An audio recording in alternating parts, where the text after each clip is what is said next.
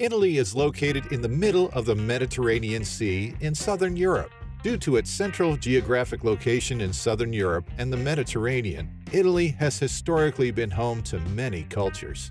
Hey people, we are back with another beautiful video. Today, we're going to explore Italy together.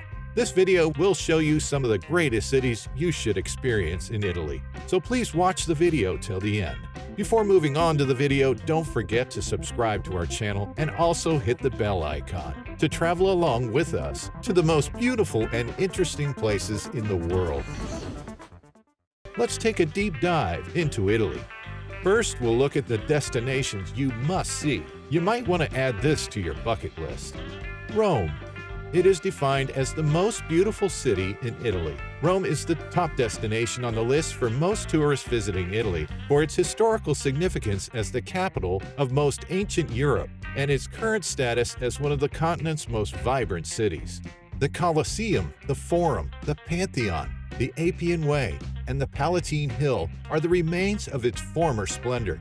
And let's not forget the Vatican, Relax in the Borghese Gardens, enjoy eating gelato on the Spanish Steps, stroll through Trastevere's winding lanes, drink some of the most delicious cappuccinos in the cafes, enjoy shopping in the Via Veneto, and visit the beautiful Trevi Fountain, the biggest and most well-known fountain of Rome.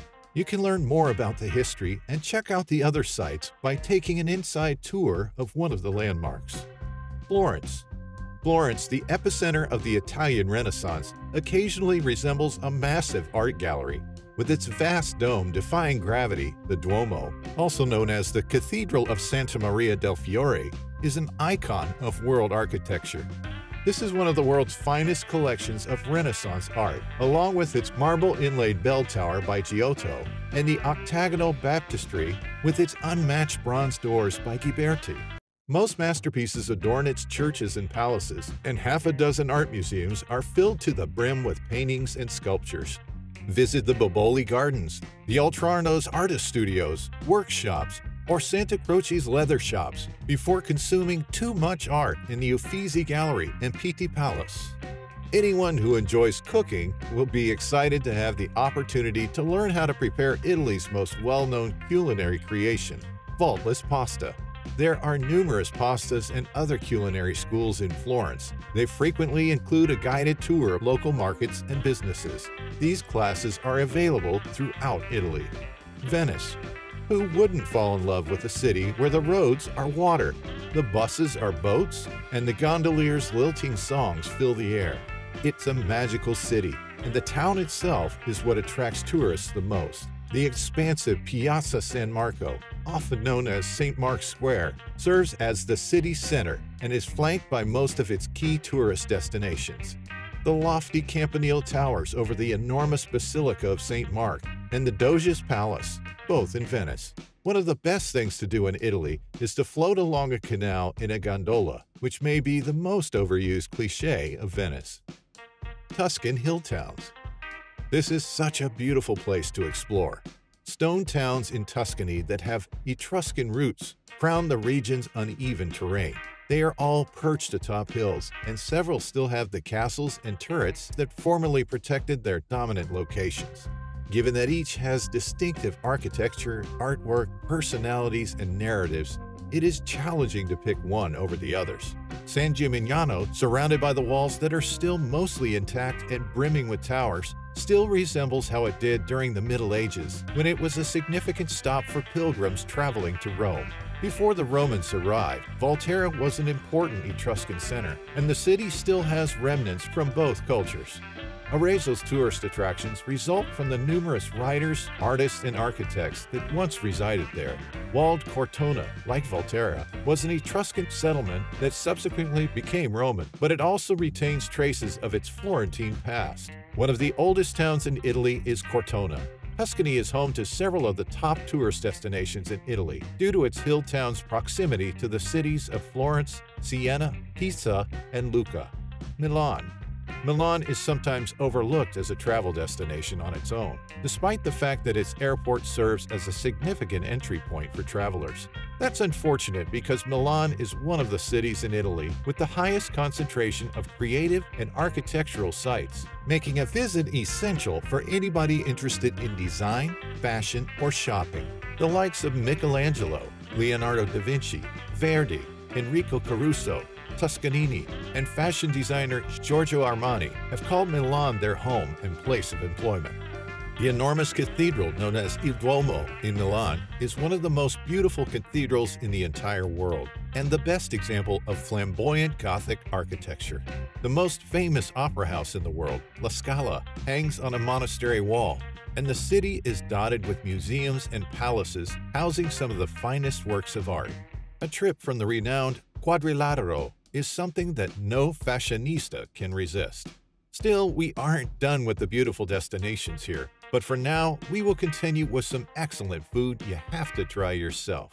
Pizza. We know this isn't something new for you, but there is one more thing. The origin of pizza claims to be from Naples, and Pizza Margherita is the most famous pizza, which is undoubtedly created in this city. Even if we are all familiar with pizza, you should at least enjoy pizza from Naples. Just give it a try. While visiting Italy, you must have an authentic Neapolitan pizza, perhaps at Spaccanapoli, without the enrichment of too many unnecessary ingredients. Spaghetti Carbonara Rome has become known as the capital of spaghetti, and carbonara has much to do with this, since it has become one of the nation's most renowned meals. It was created haphazardly using bacon, powdered egg yolk, milk, cream, and cheese, all foods that the Allies who conquered Italy were armed with, and the creativity of a teenage cook from Bologna. They put them together as a pasta sauce while making a meal for American officers. The Focaccia Starting from Liguria, this modest concoction of wheat, water, yeast, and salt was given the finishing touch of Evo oil and conquered Italy and the rest of the world. The success of this preparation is mainly dependent on the quality of the gluten-rich flour, the extra virgin olive oil, and the manual dexterity of those who produce it. The minestrone Vegetable minestrone has a thousand variations and is a dish that connects the nation from the far north to the far south. Until the 1970s, it was the centerpiece of Italian dinners and has helped many other recipes from local home traditions fade into obscurity. The variety of soups that our nation has to offer tickles the papilla of visitors from abroad, especially those coming from the north and from Eastern European countries, both of which are becoming increasingly common, who have ingrained the habit of eating soup with every meal. Fritto Misto. Despite being shunned by the most upscale restaurants, lacking any actual roots in traditional cuisine, and lacking a codified recipe, mixed fried seafood has emerged over the past 50 years as one of the most noticeable dishes of Italian cuisine. There are fritti misti in regional kitchens, such as in Piedmont, where the components with the most striking contrast are fried in clarified butter, such as liver and seminola or sausage and apples, or in Rome, where fish and veggies are the main ingredients of traditional fried meals. Travelers never miss out on nightlife, right?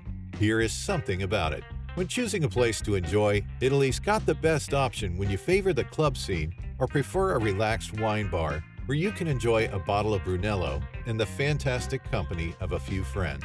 Italy's culture and nightlife at night are entirely distinct from those during the day. Every big city at night offers a distinctive nightlife experience that is unmatched at any place else on the globe. So forget your troubles, grab a big glass of wine, and head to a posh club in town to take advantage of everything Italy's vibrant nightlife offers with your closest friends and some upbeat music. Go grab your dream. We have come to an end for today's video. Please comment down below the most exciting thing you felt about Italy in the comments section. And also, don't forget to hit the like button.